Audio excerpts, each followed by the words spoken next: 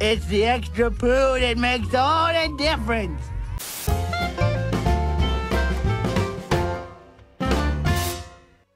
So I picked up this game from Steam. It's called Gunfield, and I got it on sale when it like first came out. Came out what, about November fifteenth of this year. And in the first couple days that it came out, I, I put something to the tune of like eight hours into this game, which is amazing because it's really only got about maybe 30 to 40 minutes of content tops. But I have just played it over and over again. And uh, it's not because it's a spectacular game. In fact, I would go as far as to say it's, you know, baseline okay, right? Uh, it, you know, I picked it up for, you know, it was on sale. It was normally three dollars. I got it for like two fifty or something like that, and you know, it's occupied a pretty good chunk of my time. I want to say it's one of those games that follows the philosophy that if you're not doing anything new, you just got to do everything right. And for the most part, it does that. It's it, it's got the shoot 'em up thing going on where you're flying in from the bottom up to the top, and all the enemies come in and you're shooting them. But the catch is it controls and levels up a lot like Vampire Survivors, which is a seems to be a popular mechanic amongst the budget game programmers these days. It, it's I imagine it's not a difficult system to implement.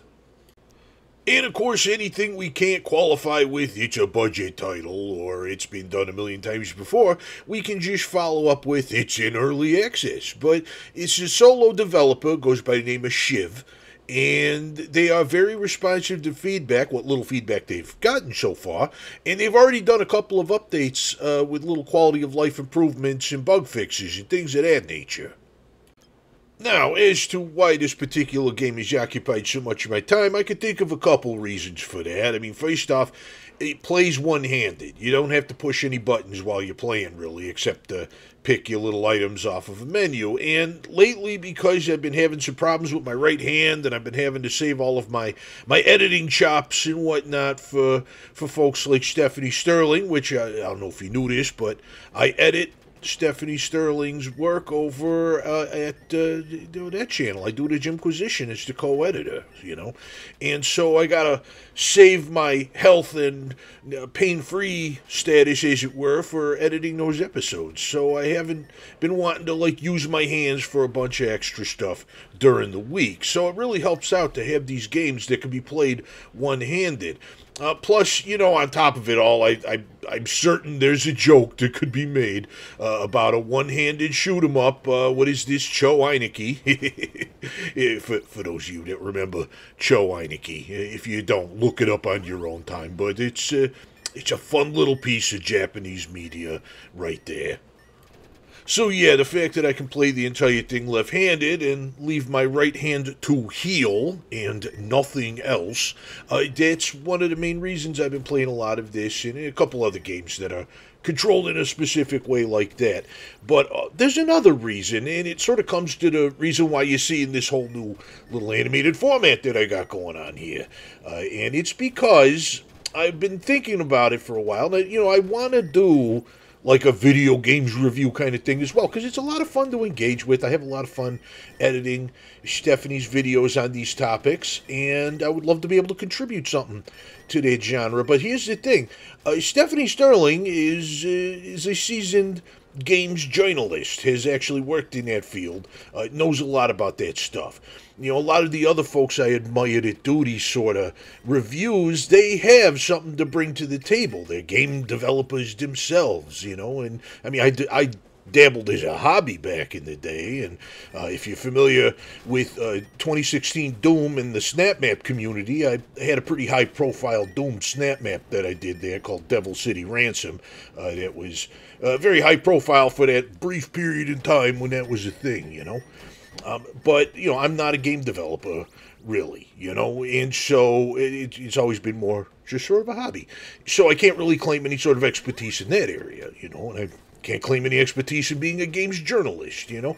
I am little more than a semi-qualified enth- super enthusiast uh, with a lot of opinions, and you know, that, that's, you know, there are a, a bazillion folks that are doing video essays with those qualifications and nothing else. So, hey, why not me? But I'd still like to bring something new to the table. And so I was thinking, you know, well, what's the reason why I played a bunch of, of Gunfield? You know, this game with not a lot of content that I nonetheless sunk hours into.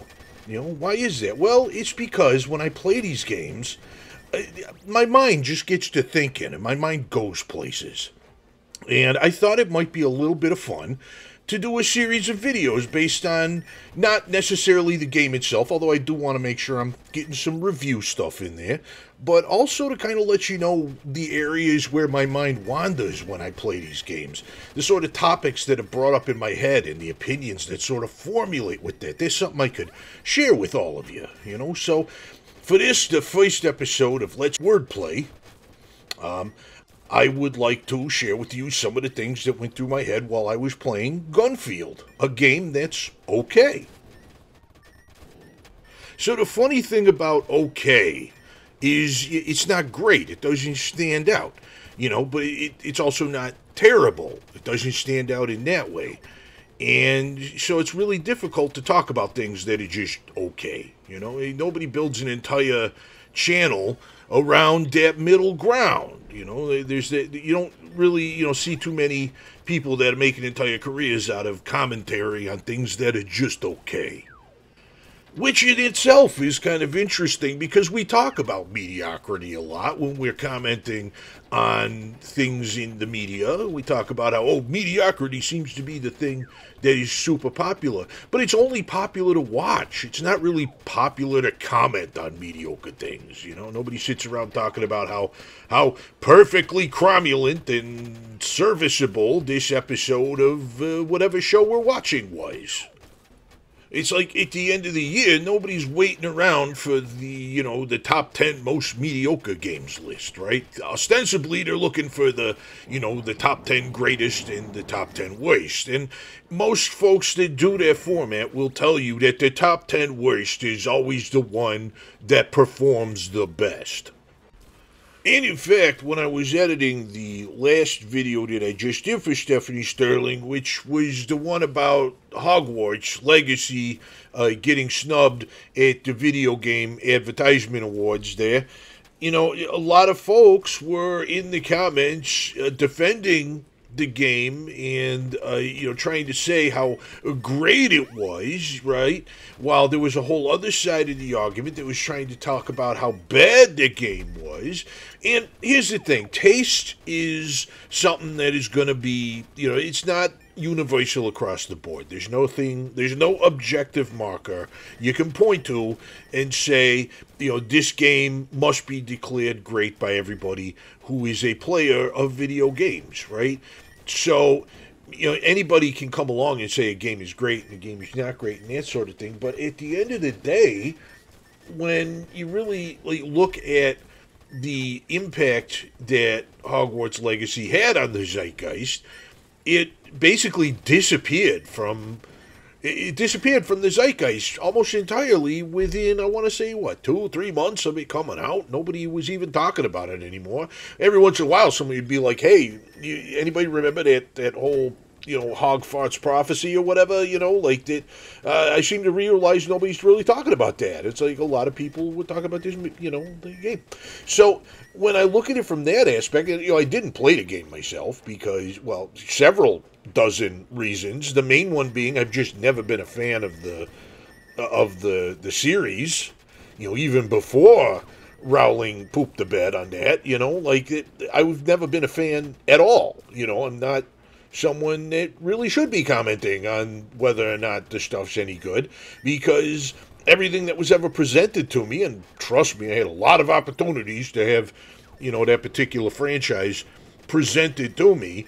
You know, it certainly spared no expense in letting me know it existed. But nothing about it compelled me in any way, shape, or form.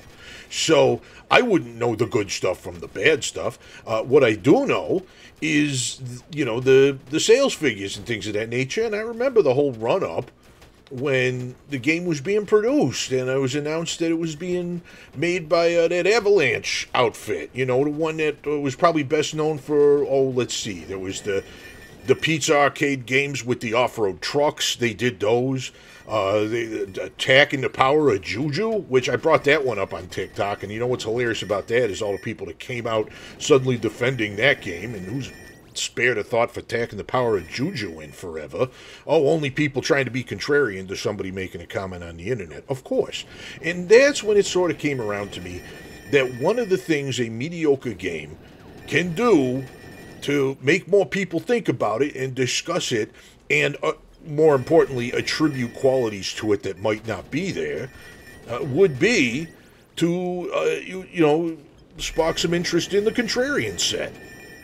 Now, look, one of my things is reading tarot cards, and there's a, a, common misconception that tarot readers think they're psychic or are psychic or can read the future, and that's not how tarot works. I'd be happy to sit down and explain it in another video, but for now, what I am trying to say is I am not, nor would I ever claim to be, a reader of minds, and so therefore I can't tell how earnest people are actually being when they're defending the wizard game what I do know is the people whose opinions I do trust, people like Stephanie Sterling and Yahtzee Croshaw and, and several other folks uh, in that circle of reviewers, have all taken a look at the game and said, you know, if you're sick of the sort of open world crafting collectibles thing, uh, this is not going to change your mind on that. It, it, it it does that incredibly poorly. All right, so you know, like from a gameplay perspective, uh, I am you know, I, there's nothing really there for me to grab onto just there. And so I have to think in my head, it's like, okay, if somebody's defending the gameplay, right? The people who are most familiar with that style of gameplay say it doesn't even stack up in that department. So people who are defending that particular gameplay may just be doing it out of a sense of nostalgia. And here's the thing I'm not even saying that's a bad thing, right? It is okay to like a licensed product because it's a license for a thing that you like to enjoy. Simulationism is totally a thing in enjoying a game. You can just enjoy existing in the world of whatever it is you're trying to indulge in. And if this gives you that opportunity to be the little special wizard child that, you know, gets to do the, the Harry Potter fantasy thing, wonderful. You know what? Skyrim is the same deal. Fallout is the same deal. You know, any of these sort of, you know, eh, role playing games that you can jump into and be the person. That's what they're there for. It's okay. And here we are circling back to that word okay. Baseline, mediocre. It's not something that you're necessarily gonna do a whole video about where you're reviewing it and unironically comparing it to, to, the best games ever and like wanting to give it an award for just how good it did. I mean, you want to give it an award because of something it did for you personally, wonderful. But uh, what I'm not, I'm not seeing that honestly. Like, I, here's the thing. I do have to go through the comment sections of the videos that I edit. A lot of that is to get feedback because I'm still sort of new at this thing, you know. Like I, I, when I'm editing episodes of the Jimquisition, I want to know what's working, what's not working, what the people who actually watch the series and enjoy the series, you know, make a note of that. You have to have enjoyed the series prior for me to take your feedback seriously. Anyway, when I go through this comment section and I see all these people just vehemently defending the game, you know, and it's you know saying just how great it is at doing these other things. Like, look, I'm not going to disagree with you, okay, but it seems like you are trying to ascribe greatness to a thing that, by and large, the zeitgeist has decided is a mediocre example of the genre. Okay, it's okay if it appealed to you, but to get angry at somebody for whom it did not appeal to, it seems counterproductive, right? And I'm looking through the comment section. The only thing I could think nine tenths of the time was some of these people that are leaving multiple comments and, you know, it, it, like just taking personal jabs at Stephanie and all this other stuff. And all I can sit here and think is, you know what? I'm paid to be here. What is your excuse? You know, what what do you have so much invested in here that you feel this need to do this, right? it's like if I feel the need, if I feel this much of a need to discuss something that's on my mind, I'm going to turn around and make a video about it. Well, kind of like what I'm doing right now. And you know, that is a thing I check every time, too. Like when somebody's leaving these comments, I always check and see what the, their content on their own channel is looking like, right? And inevitably, there's not going to be a lot there. Now, here's the thing like a lot of these same folks who are huge defenders of AI and all the stuff that it can do, it's like you can get a robot voice to read for you. You can put a little animated thing on the screen. There are so many ways you cannot be personally involved in the content that you create, and yet you are still choosing instead to booger up someone else's. Uh, someone else's content and uh, hang out in their comment section and tell them how much you don't like the thing that you are giving all of the the algorithmic engagement goody cookies to. You know, like it, it just it baffles me. It really does baffle me that you are that invested to the point where you are instead of doing something that could have a much wider impact that could be dare i say reusable because you could just take this video and send it to people and say here are my thoughts on the topic so i don't have to repeat myself you know um, you could be doing that you know you could be doing something that uh, has some sort of an actual impact and allows you to sort of you know have a stake in the game, as it were. But instead, you're you're arguing with a comment section that, by and large, uh, is either paying no attention to you or just enough attention to establish that nothing you say has any bearing on what it is that I'll be doing next. You know, so so the bottom line is, I'm here, I'm sitting here, I'm playing this this Gunfield game that is certainly not going to win any awards right? At least not in its current state. I mean, it, it, I I honestly hope I'm wrong about that. Honestly, the person that sat here, you know, the Shiv person that made this Gunfield game, I certainly do hope they work this to a Mia shine. You know, I hope that you know all of the little things that they're planning on adding to it happen, and then they just they they don't lose that enthusiasm and they keep adding more. That would be best case scenario. It'd be terrific if that happens, right? Um, but if it doesn't happen, it's whatever because I just enjoy the time I spend with this piece of media, and I don't necessarily have a need to you know, get onto eh, other people's. You know, if I see a video of somebody saying, "Oh, this this Gunfield game, I I put you know ten minutes into it, and it was the worst ten minutes I ever spent with it," you know, I'm. You know, you do you. I'm not gonna uh, live in your comment section for a day and insult everything you are and and invalidate your experiences. And that's the big one right there. Is, you know, it, it, the idea that a mediocre game like, you know, Dog Farts Damacy, uh, like got people so up in arms. Like, uh, and uh, of course, you know, I, I know really why it is. You know, I'm, I'm not blind to these things. You know, there are certain uh, types of folks that uh, they have a lived experience that other people think is completely performative or for attention or something to that nature. Oh, so it occurs to me while I was editing this that I totally uh, did not actually say what my opinion is about that whole thing there. And somebody's probably going to watch that be, oh, you dodging the topic, all that other stuff. So I'll tell you what, why don't we take a moment here to just make it perfectly clear.